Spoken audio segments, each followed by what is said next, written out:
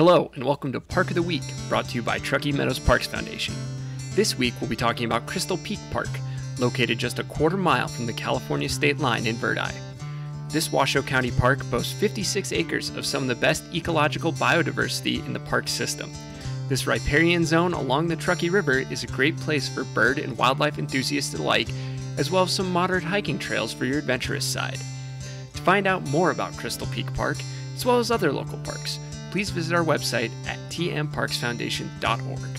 Thank you for tuning into Park of the Week.